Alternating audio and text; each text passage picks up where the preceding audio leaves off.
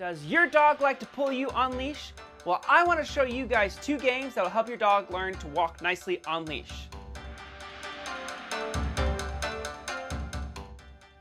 Welcome to the Doggie Dojo. My name is Trevor Smith. There are two concepts your dog needs to understand to walk nicely on leash. That is to follow you and not to pull. The first game that I want to show you is called Follow Me. It helps if your dog knows how to do touch, which we learned in this video right here. You're gonna ask your dog to do a touch next to your leg. They touch, yes, and then give her a cookie. Then, once they get good at that, take a step and ask them to touch again. Touch. Yes, that's such a good girl. He's so smart.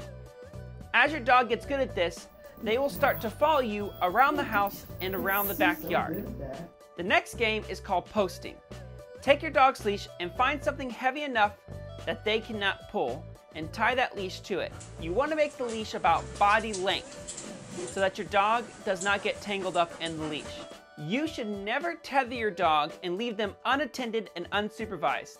They may hurt themselves and develop unwanted behaviors. Attach the leash to your dog and take a pile of treats and put them in front of your dog out of reach from their nose and their paws.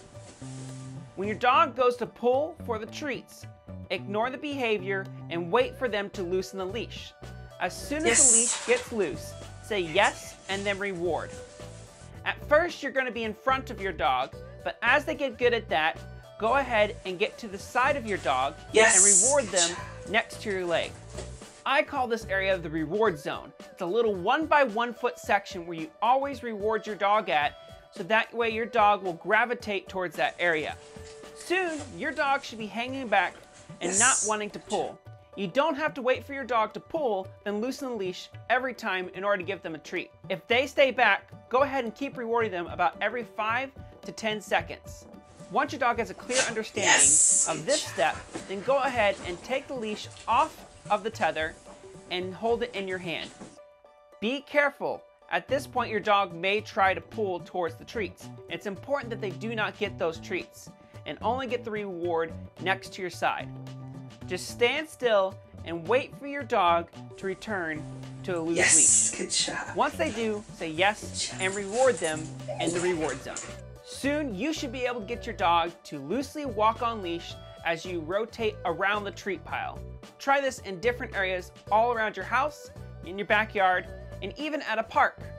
Once you got your dog following you and not pulling on leash, then you can start to teach your dog how to walk nicely in public.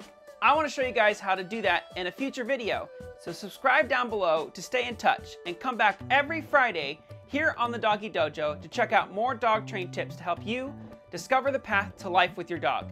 If you liked what you saw today or learned something, please give a thumbs up down below. Thanks again for watching, and as always, have some fun with your dog.